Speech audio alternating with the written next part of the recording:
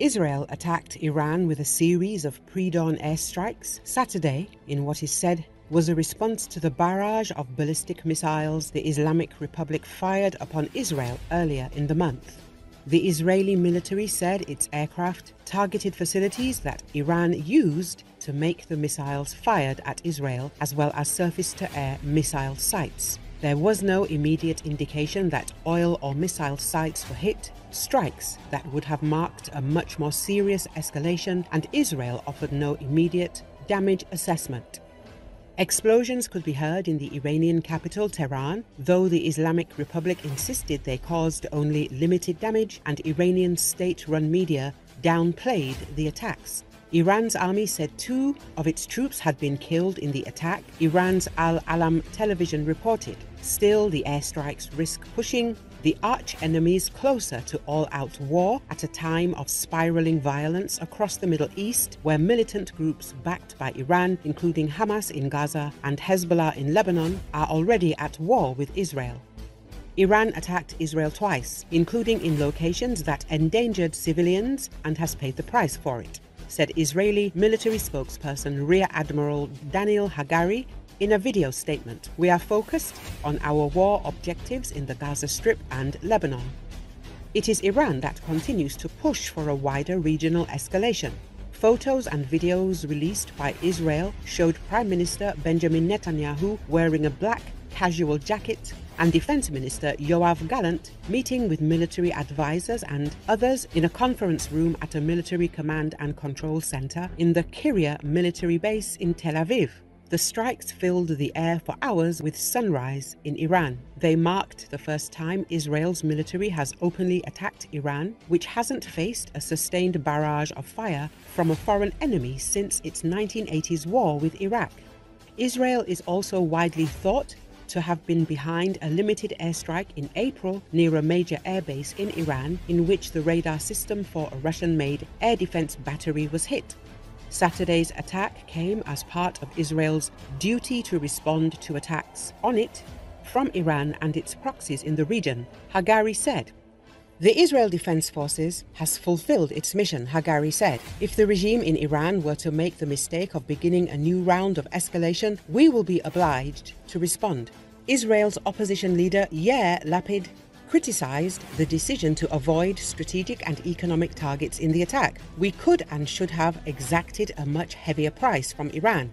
Lapid wrote in a post on X The United States warned against further retaliation, indicating that the overnight strikes should end the direct exchange of fire between Israel and Iran. Regional heavyweight Saudi Arabia condemned the strike, calling it a violation of Iran's sovereignty and a violation of the international laws and norms. The kingdom's foreign ministry said it rejected the escalation in the region and the expansion of the conflict that threatens the security and stability of the countries and people of the region. Nuclear facilities and oil installations were all seen as possible targets for Israel's response to Iran's October the 1st attack, before US President Joe Biden's administration won assurances from Israel in mid October that it would not hit such targets, which would be a more severe escalation. Iran's military said the strikes targeted military bases in Ilam, Khuzestan, and Tehran provinces without elaborating. It closed its airspace during the attack, but Iran's civil aviation organization said flights were resuming at 9 a.m.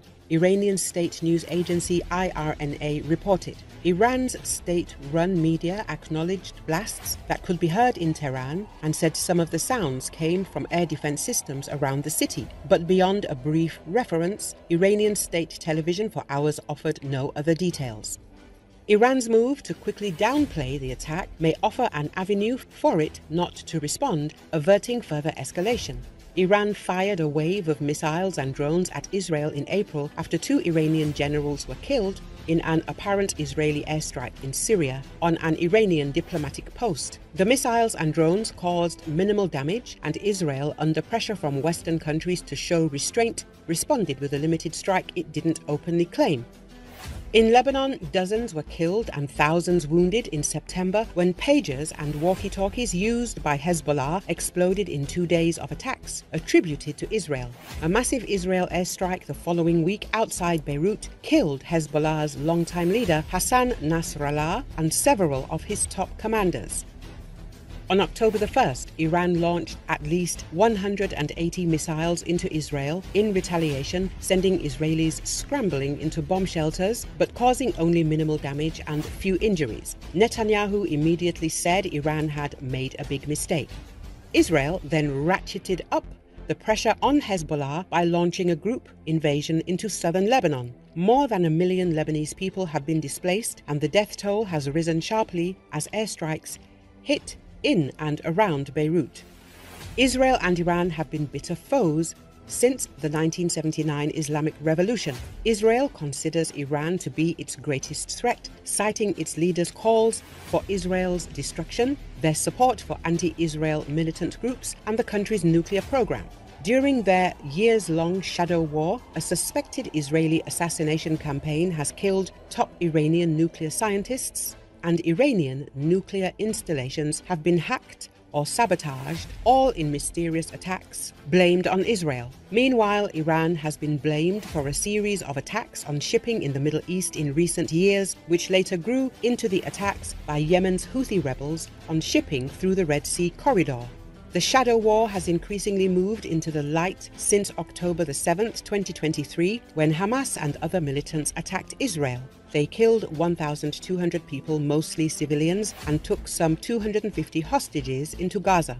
In response, Israel launched a devastating air and ground offensive against Hamas, and Netanyahu has vowed to keep fighting until all of the hostages are freed. Some 100 remain, of whom roughly a third are believed to be dead. More than 42,000 Palestinians have been killed in Gaza, according to local health officials who don't differentiate between civilians and combatants, but say more than half of the dead have been women and children.